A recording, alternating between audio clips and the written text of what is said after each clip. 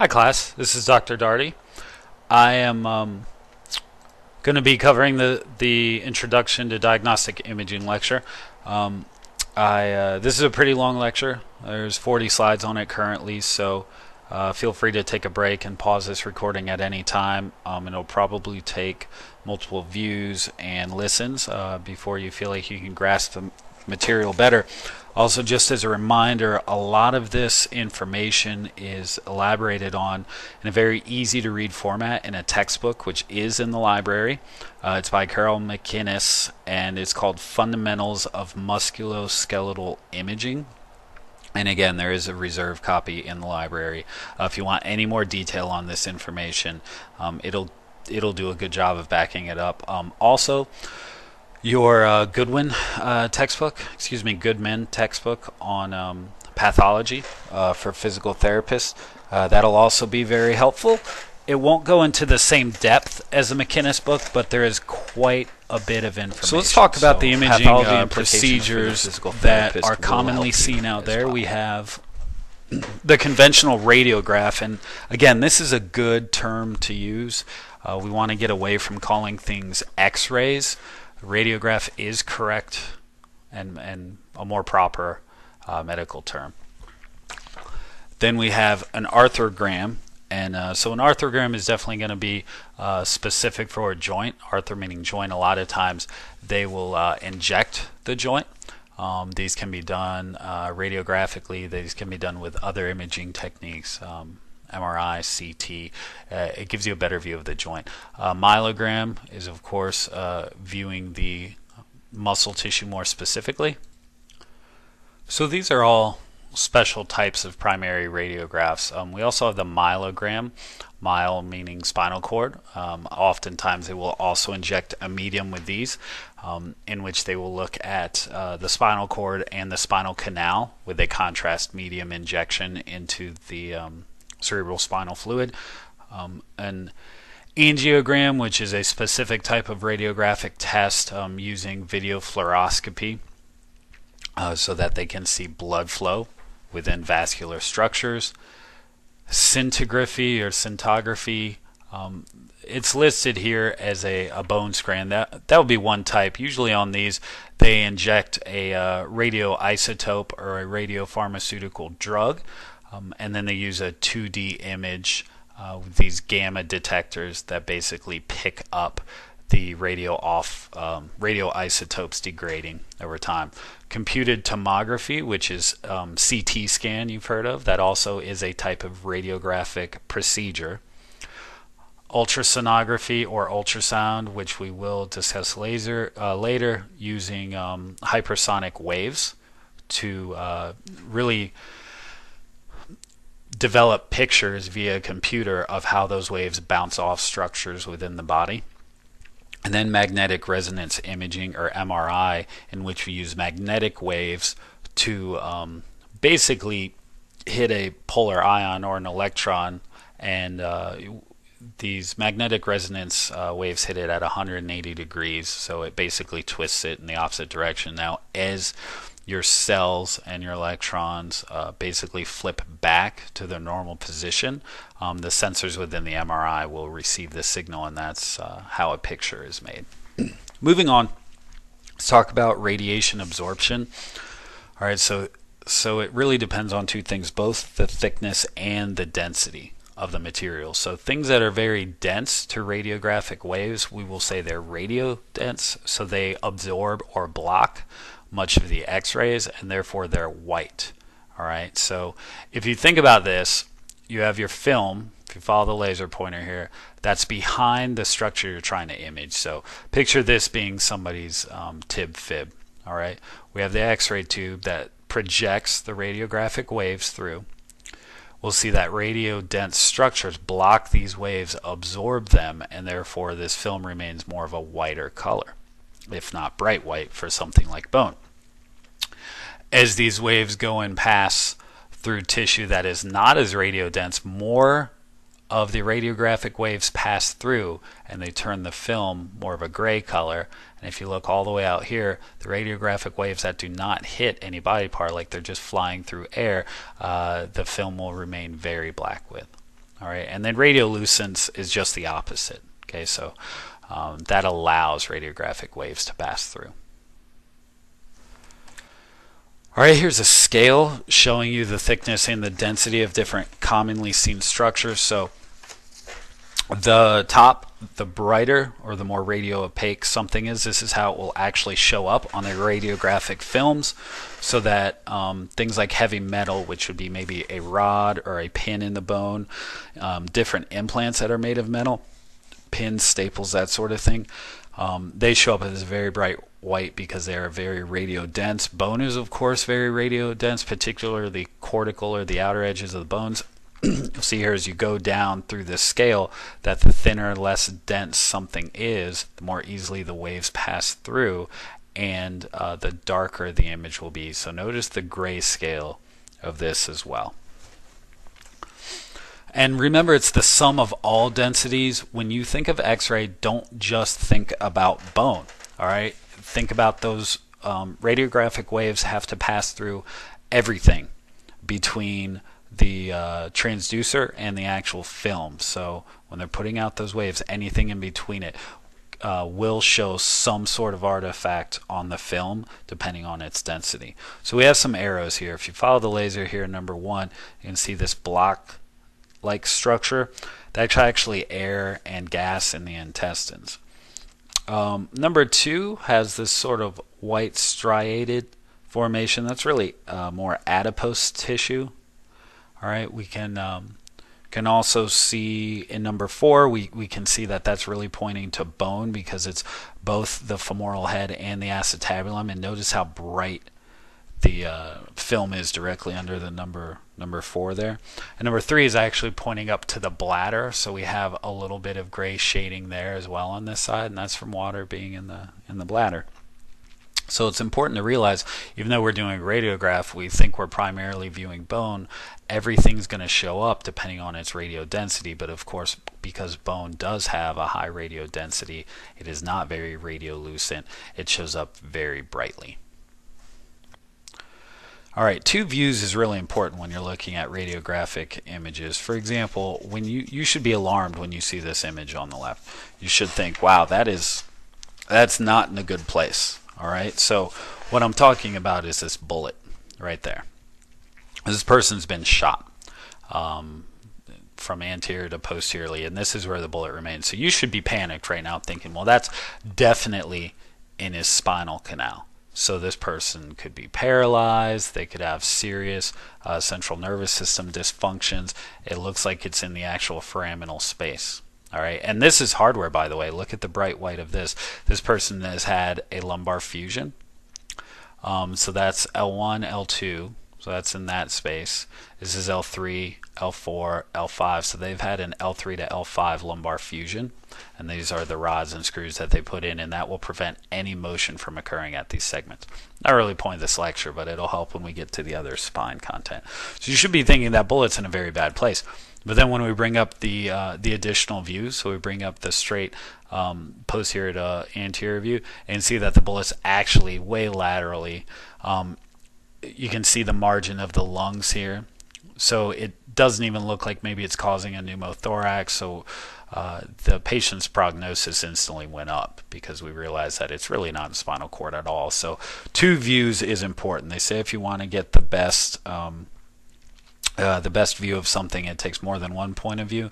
For radiographs, it's a minimum of two for most things. All right, so here's your systematic approach when we're looking at bones and joints, and we'll refer to this as the ABCs. So your acronym is ABCs that'll help you. All right, A means alignment, and that's the general alignment of the architecture. So you're, what are you looking at? Well, you're looking at first generally, uh, what do I see? What are the size and number of bones present? Um, I look then at the contour of the bones that I do see present. I'm looking for smooth, continuous lines and then what do bones look like to adjacent bones? So do I have normal spaces? And space is going to show up much darker right? Because there's not bone in those spaces. So you know what does the alignment look? What does the space look like between segments of the spine or within the extremity joints? Does one side look for the other look like the other with a bilateral comparison? That sort of thing. Um, you can read your abnormal findings there as well. All right, but this alignment and then one, two, three will really help you um, in looking for normal things. Here's some examples. So if we look at the uh, the contours, all right. So if we look at the image on the left, um, look at the contour of the bone. So look at the alignment. All right, so we can see the malalignment here, and this is the tibia, this thicker bone. This is the fibula. We have pretty severe malalignment of the fibula. We have a moderate malalignment of the tibia. All right, but then um, let's look at some other things. Look at the contour of the bone here, right and left. We see osteophytic changes occurring. Definitively see osteophytic changes. Um, we'll we'll get into the bees here next. Here's some other things showing you alignment. So this patient most likely has rheumatoid arthritis, and this condition you see here of the hand would be called ulnar drift because all of the joints uh, drift towards the ulnar direction or point in that direction, offset.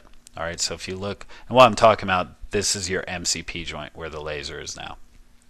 Okay, so all of them are pointing in that direction. So if, if you look at the alignment, obviously this is your index finger that proximal phalanx right there should be straight in line with the metacarpal. So we have severe malalignment here. We're talking about bone density, think of two main pillars here, general bone density and then abnormal texture. Those are your main pillars. So general bone density, normally there should be a contrast between soft tissue and bone, with bone being uh, much brighter, and a contrast between cortical, which is basically the edges of your long bones in particular, and cancellous or the more spongy bone that should not be as bright.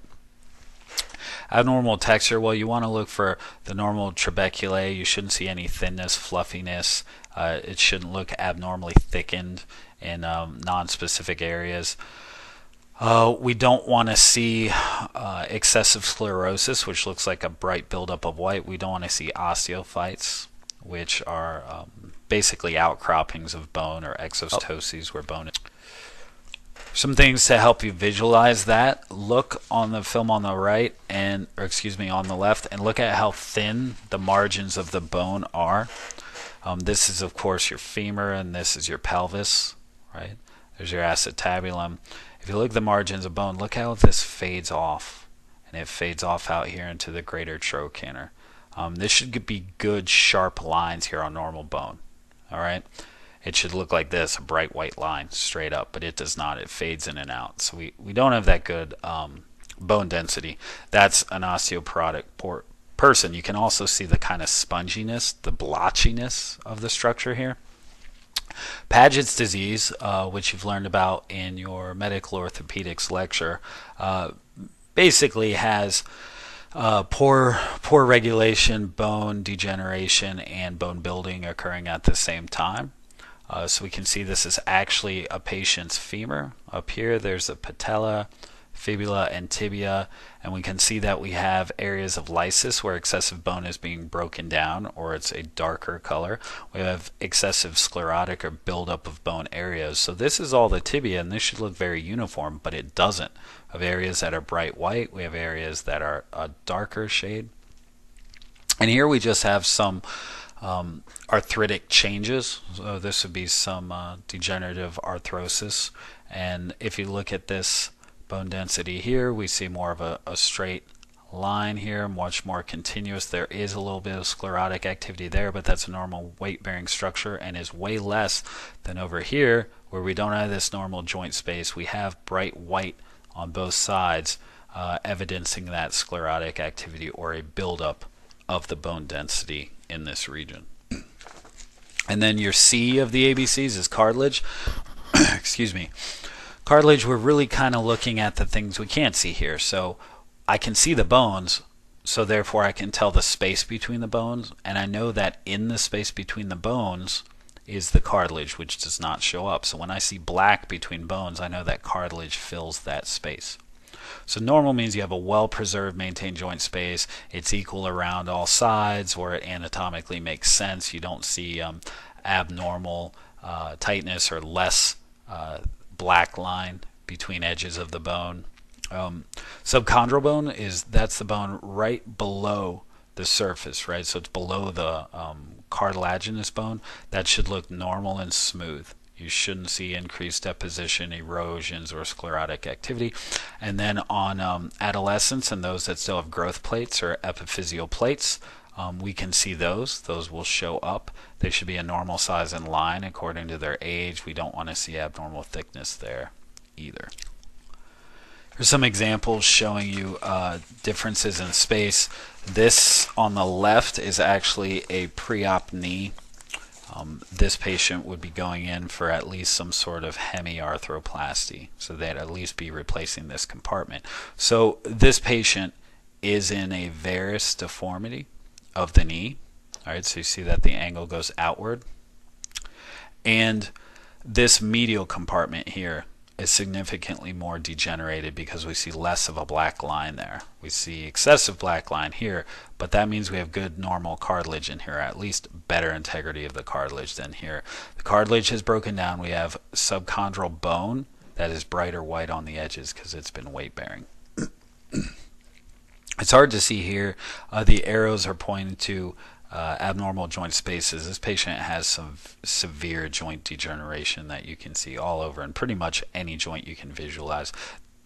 What you should see normally, just to be clear, is a nice black semicircular line here on all these joints, which you definitely do not see. They have significant degeneration occurring at their MCP joints, their PIPs. You can't really visualize their DIPs with this image. Um, and so not only do you see poor uh, joint spaces, we also see erosions. Also see erosion. See how it looks like the bones eroded or eaten away there? That's more significant for things like inflammatory conditions such as RA, rheumatoid arthritis, or even gout. So it basically eats away at the bone. All right, soft tissues. Well, radiograph is not the best thing to use to visualize soft tissues, but nonetheless, it still can be used. we can look at things like muscle for things like fat pads and look at actual uh, margins of the capsule. Um, so it's really hard because soft tissues can have much more similar densities. They're similar in radio density, so it's kind of hard to visualize a lot of times. Um, but we can see extreme conditions. All right, so for example, look here at the line of periosteum of the bone, and this is a forearm. This is the radius. This is the ulna here. And look at how we have soft tissue buildup all along the edge of the bone. Also notice this grayness, this light grayness out here too, that isn't down here further. That's probably showing some degree of edema present. Again, not the best way to visualize it, but it's there. Notice the arrows here demarcating the joint capsule. So we can see the joint capsule of the radiohumeral and ulnar humeral joint. So you see that dark shade. That's capsule that's full of fluid. That's why it's it's darker, and we can see surrounding soft tissues out here.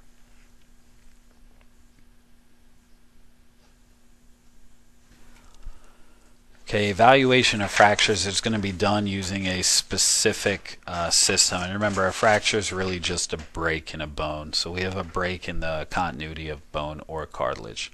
Um, conventional radiographs are, are pretty effective for most fractures and dislocations. All right, we are going to use this little um, outline of Greenspan 7. So you definitely need to commit this to memory as well, just like your ABCs. we have the first being the anatomical site and extent of the fracture, basically if it's open or closed. Two being the type of the fracture, complete or incomplete, based on if the cortice is completely fractured through or not. We have alignment of the fractures, direction of the fracture line, which way does it point, any special features such as impactions, which are when two bones um, are impacted or driven into one another, and an avulsion, which is where soft tissue pulls part of the bone away from the rest of the bone. Any anything like joint dislocations, which is a associated abnormality, because remember we're considering fractures here, and a dislocation can be part of the fracture, but doesn't have to be. And then number seven would be any special types from abnormal forces, such as stress fractures or pathological fractures. An example of pathological fracture would be like maybe a fracture that occurs due to a specific pathology, such as osteoporosis. All right, so with site and extent, we're going to talk about things being either, um, you know, extra-articular, intra-articular. We're looking here at the femur. Notice these dotted lines. So the site would be, if it was in here, you'd say it was the proximal third of the shaft of the femur, the middle third, or the distal third. All right, know your joint lines so we can tell when things are extra-articular and intra-articular. And then extent refers to really, is it an open or closed uh, type of fracture? So this is definitively an open fracture uh, of the tib fib. So you may be thinking, well, how do I know it's open? Open means it goes through the skin. We see this fissuring of the fracture line here. We can see soft tissue margin out here. So notice where the black just begins to turn gray. That's where the soft tissue begins. We see this line up and we see no soft tissue out here. We see clear bone. So that tells us this bone is sticking out through the skin. Skin has been ruptured. That is an open fracture. A closed fracture just means the skin and soft tissue overlying it are still intact. It hasn't broken through the skin. All right, number two is complete or incomplete. A complete fracture means that all the cortices are fractured, meaning that the line goes all the way through. Notice this dark fracture line through the tibia here. Even though it does Y off, this line ends, but this line continues right through. So look for the white cortex on the outside of the bone and make sure that the black fracture line extends all the way through. If it extends all the way through, and both cortices are broken complete. If it does not, then it's incomplete. On the right, you see an example of the same bone, the tibia, incomplete fracture. Notice the black fracture line, and notice we have this white bend here. All right, it didn't fracture through. It's not black. Didn't pop right through, so that's that's an incomplete fracture of the tibia.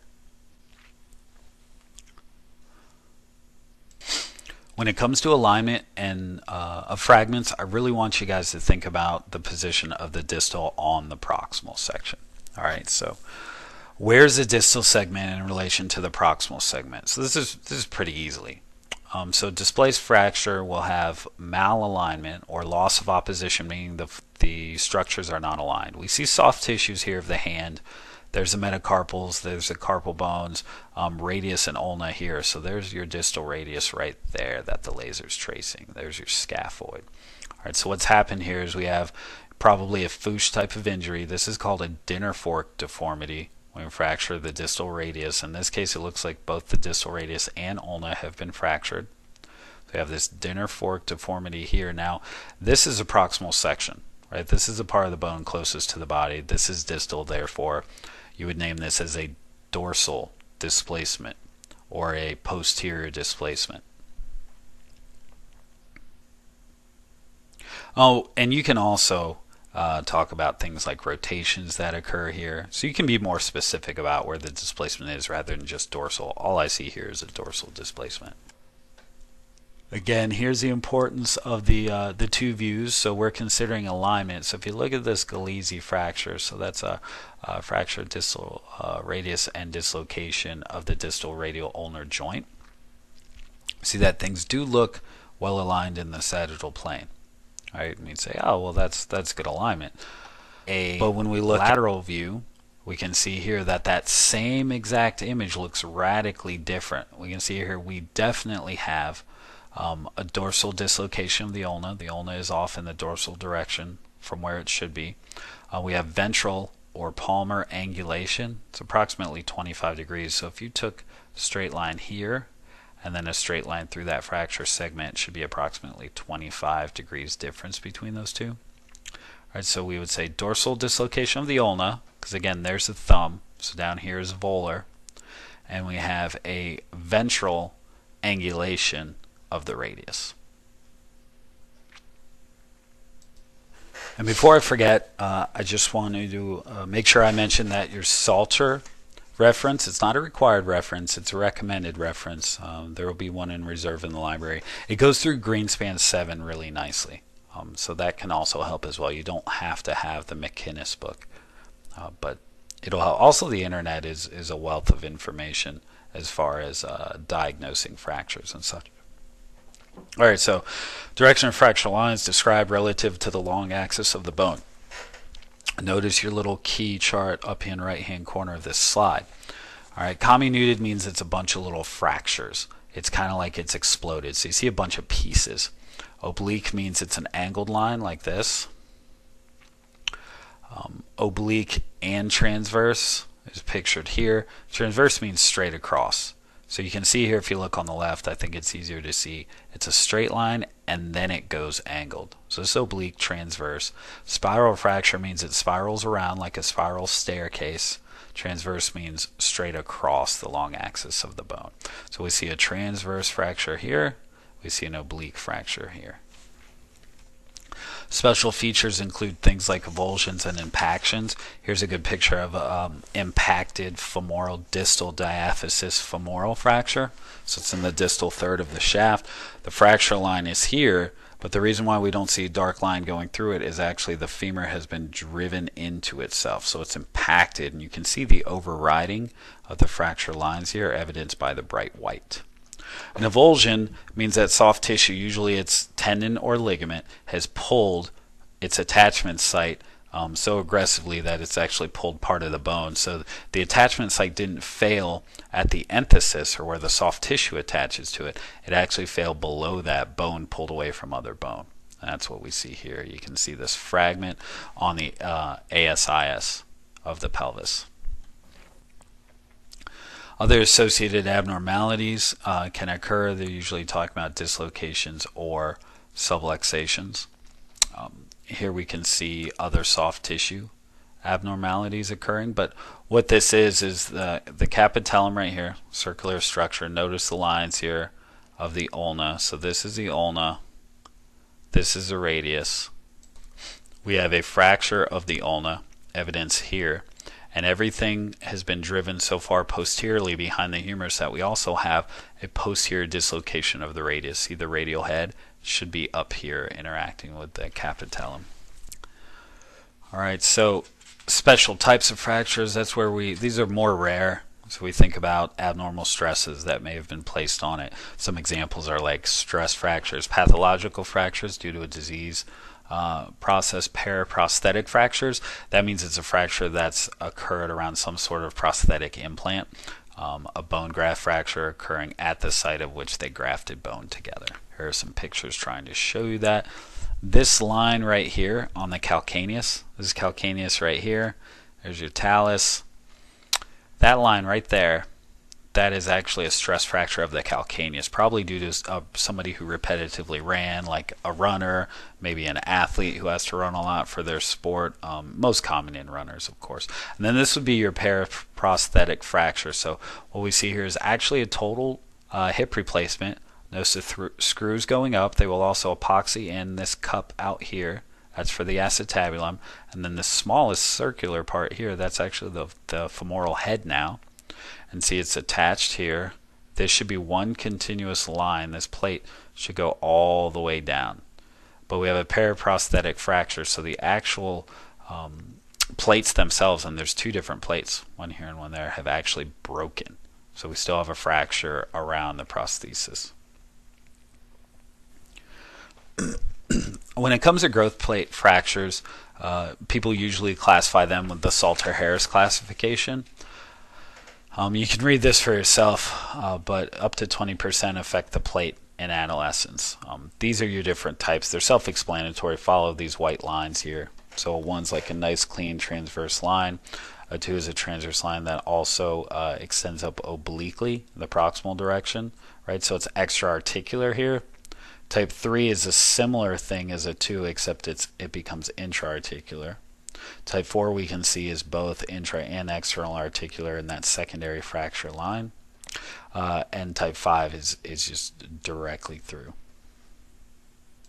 And just be clear about this, it's kind of highlighted here, but you should see this is the epiphyseal plate, but there is also uh, a disruption here, so it shouldn't be this thick. So basically, where I said the fracture line is, that means it's basically the epiphyseal plate itself has fractured. All right. Here we can see the epiphyseal plate. We can see the fracture line that also extends up. Right. So I just want to reiterate that some of this should already be there. Okay, like this fracture crosses the epiphyseal line, and that disrupts. Notice that the white lines don't ma- mm, excuse me match up perfectly right here. We also have more advanced type. we have CT scanning or computed tomography. Um, this involves regular radiographic X-rays. Um, it's the same principle as X-rays, except we have these tubes that spin around, and then we have the detectors that really absorb the X-rays. So what we can do is actually get a 3D image of this as this 360 degree arc occurs. And um, those of you that have CTs, you can hear, and sometimes there's windows cut up here by your face, so you can actually see the radiographic tube spinning all the way around you. Now, because we have more computer involved, even though they still use radiographic waves, they're going to be a lot more sensitive to uh, to change. So they're going to show up with more subtle changes in color. We're going to be better able to pick up um, soft tissues than we were for standard radiographs. Um, but we're still not as good as the uh, the latter type of imaging things, which we're going to talk about next, like MRI and ultrasound. When it comes to detecting soft tissue, we're just better than a standard radiograph, um, but there will be subtle differences. All right, so remember then, we're using the same radio density and radiolucent scale. This CT is going to be the best thing for visualizing bone um, and also looking for loose bodies uh, related to fractures and complexity of fracture. Definitely best viewed here with a radiographic uh, structure. And they can take different slices and different views of this. It's not, they have computers that can reconstruct what look like actual 3D models of the bone in its entirety, like looking at the plastic models like you have in lab, they can do that on a computer so you can see all the way around. They can use axial slices in which you can see specific slices all the way through the bone. Are many different ways they can do this. Basically, can do is look at just this slice, flip it on its edge, and identify different structures. Uh, this should be in your note packet you will have this picture right here on the right, and you'll have another picture on the left with a bunch of numbers to it, which are also labeled. So the concept is this. We're trying to look at this slice of L5S1, and we could look at it this way, in which other structures are superimposed. Notice how everything just kind of white outs down here, right? So they're superimposed. They're, they're all lying, and it's a cumulative build up of radio density, we can look at them very specifically by looking at this specific slice. And that's what you can see on the left-hand side of your slide. All right, here's some more complex fractures. Um, here's a standard radiograph on the left. All right, so we can see how much we see there. Can see some different fracture lines. This black margin here is a fracture line. Here's your greater trochanter right there. It's hard to visualize, but there's a uh, intertrochanteric fracture that extends down through here. Uh, this is the femoral neck. There, this fracture line should be some level of a femoral neck fracture. We can also see a little bit of light shading up here, which is um, a little bit of a femoral head fracture. Uh, we see disruption up in here at the top of your screen, we don't see a nice linear shape to the bone. So you take the same image here, and then we look at it via a CT with different shades of gray, and now look at how the detail just pops out. We can see the edges of the cancellous bone. We can see these fracture lines through the femoral neck. There's your intertrochanteric fracture. It looks a lot worse on here because we can see it with all its details. There's a pelvic fracture through the acetabulum there's a femoral head fracture, kind of like a divot fracture here. So this is a very complex fracture, both intra and extra-articularly. All right, MRI is very similar to CT. It does use a gray scale to actually look at the images, um, but there's no radiation involved. All right, so it's actually interesting. I worked in MRI for a while, and they weren't sure about the long term effects of MRI. Of course, the risks are better than CT, but for example, if you were currently pregnant and you wanted an MRI, you had to sign a disclaimer um, that said you would not hold the radiologist um, or the hospital um, accountable for any damage uh, to your unborn child in the future. So you couldn't come back and say, well, I had an MRI and they didn't explain to me the risks. Uh, basically, the risks, risks are we think it's safe, but we really don't know um, long term what could happen. Theoretically, it should be completely safe, though, so you don't have to worry about radiation exposure. This was actually originally developed in the 40s, um, and so it's basically measuring emissions of energy. All right, so we basically hit these protons. So you're not absorbing anything. We hit protons in the body with this electromagnet coil that wraps all the way around. This this is a slice cut out, so it goes all the way around this coil, and we hit these different radio frequencies through it. All right, and what they do is they basically charge your protons. And when your protons flip back, they measure the energy dispersion as they flip back. So this is definitely superior when viewing soft tissue because this gives us the best detail. It does work for certain pathologies of bone, generally not as good as CT. Works a lot better for viewing soft tissues, joint capsule, um, fluid within tissues, um, uh, angiographic things. If you want to look at vascularity, you want to you want to study the brain tissue. This works really really well. So it disrupts those protons and electrons, and then takes them as they return back to their resting position. That's really the the basics of it. And they tend to do these and look at them as slices. They can also weight the magnet differently to cause different types of grayscales that will uh, better vision tissues. So here's the two different scales. This is what's called a T1 scale on the left, and this is what's called a T2 scale on the right. Now this is the exact same spine, but notice how different it looks. Notice how some of the colors seem flipped. All right, this is how I memorize it. I memorize what's bright. In T1, fat's bright. In T2, fluid is bright. All right, so let's go back. T1 fat is bright. Notice where the images are drawn together, you actually see this white line there. That's adipose tissue. That's fat. All right. Now, if fat's bright, that means fluid's dark. This is your spinal canal, cerebral spinal fluid. Your intervertebral discs have fluid in them. Notice how those are dark. All right.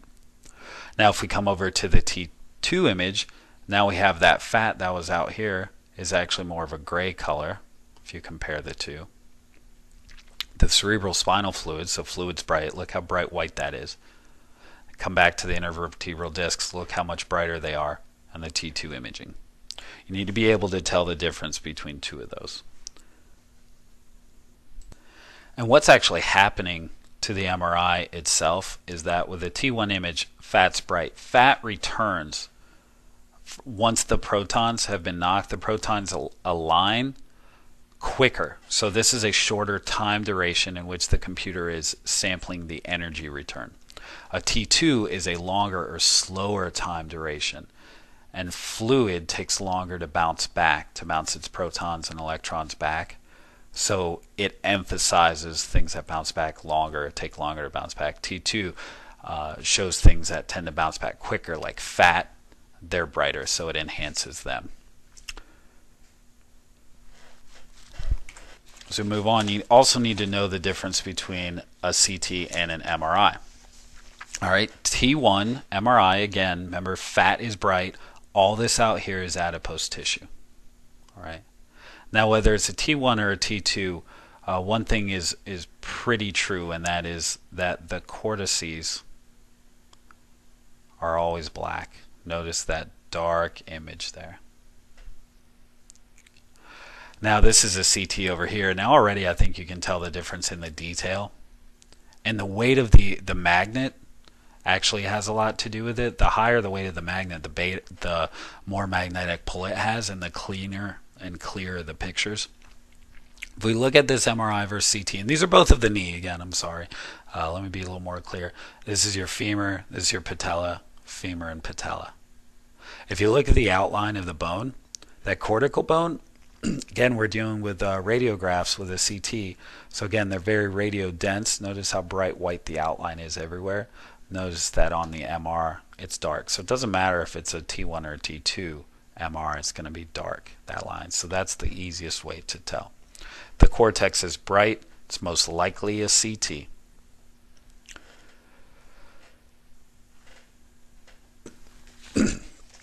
MRI risks, you're dealing with a ginormous magnet. All right. Surgical clips can be displaced or moved. Now, this is sort of a, uh, a gray area here. All right. It doesn't mean no metal can go in the MRI. It means that non ferrous metal Okay, non-ferrous metal can go in the MRI. For example, um, if you put something that had any degree of iron into it, like say an oxygen tank into an MRI unit, it's always going to go the strongest part of the magnet, so it'll be drawn to the center. Um, a paper clip, a watch, um, the clip in, in women's bra, um, maybe your eyeglasses, those may all, when you get to a certain point, um, be drawn into the magnet so they can be moved by the force. But surgical um, stainless steel rods and plates usually will not move because they're stainless steel. Um, titanium won't move. Titanium is a non-ferrous metal. So it all depends on what the metal is made up of. What they will do is before they'll give you an MRI, if you, you're in a manual labor in which you may have gotten things like metal into your eyes at some point, um, they'll do a radiograph to try to find metal um, in anywhere on your face or eyes. And if they find that, then they will not risk putting you in an MRI because it could cause blindness, uh, damage to the uh, optic nerve or eyeballs, or even worse, it, it, could be deadly. And people have died from getting MRIs before, based usually on some sort of metal moving or somebody bringing some degree of ferrous metal into the room when somebody was still in the magnet on the table. All right. Also, pacemakers, it's contraindicated. Do not go in there with pacemakers uh, because your batteries are magnetized on a pacemaker, just like other things. It'll stop it or it'll throw off the rhythm. Um, I've seen it stop watches pretty regularly. Uh, if you go in there with your wallet, it'll strip the magnetic strip of your credit card. So um, you really have to be more careful around the MRI because there are some serious risks. With diagnostic ultrasound, we're using sound waves and um, a transducer that puts it out and then also receives the images. Okay, so we use the terminology of echoicness. So if the, it's very echoic means it's very bright, it's hyperechoic. So that would be white, like number one, which is the Achilles tendon. If it's dark, then it's hypoechoic, and that would be dark. Like three is subchondral bone, subcortical cortical bone of the uh, uh, calcaneus. Two is, of course, the cortical line of the calcaneus, so it's more hyperechoic, and the tendon is also uh, hyperechoic. So what we would see is the transducer would be up here filming down through into the tendo Achilles. There's the Achilles and where it inserts on the calcaneus. Um, diagnostic ultrasound is difficult to read. There is a, a huge learning curve because there's not really set planes in which to use the modalities, where there's set planes and schedules for the other uh, type of uh, imaging that we've learned about so far. So you kind of have a, a, standard way of viewing it. Here, it's they really just put the tissue in the best way in which to image it or expose it. So move on. So you would definitely want to document this was a transverse sonogram. And you may be thinking, well, if it's difficult to read and hard to perform, why am I doing this? Why am I learning about this? You're learning about this because, for example, in uh, the clinic at school here, we have a diagnostic ultrasound machine in which we can use to just immediately visualize soft tissue. Um, so it works really well. Uh, you can immediately use it. It is within your practice act, and you can interpret your findings. So this transverse means it's held transverse of dislocated biceps tendon. Biceps tendon running up here. We have the um, sonogram transversely mounted across it. What we see here is uh, this is soft tissue up here, so superficial to deep. There's your cortical bone. There's your intertubercular groove right here. Biceps tendon should be sitting right here. And remember that tendon uh, tissue was also hyperechoic, so it should be bright white, but it's not. It's gray here. Look at this ball of bright white over there that ball is, as you see highlighted in yellow, that is actually uh, the long head of the biceps tendon, and it should be in this position, so it is dislocated.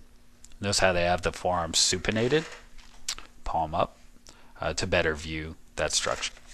Or the pros of uh, ultrasound? Well, it's it's cheap and it's portable. You can buy the unit and there's not as much recurring costs. Maybe software upgrades, but that's about it. It doesn't really use materials other than ultrasound gel. Um, there's no known detriment to exposure. You can use as much as you can, and it's dynamic in real time. You can put the patient in the provocated uh, position. Um, you can uh, move the tissue while you're doing the ultrasound, so it's not a purely static process. It works really, really well. Problem is, it's really difficult to learn It takes a while to learn to know exactly what you're looking at. Um, oftentimes, you'll have to visualize the unaffected side when you're learning before you visualize the affected side to see um, to make it easier to pick up differences between sides. Um, bone does block the ultrasound waves, so you can't really see things past bone if the bone is blocking the sound waves. Um, so that'll prevent further visualization. All right, thank you for your interest. Um, and uh, if you have any questions regarding this lecture, please let me know.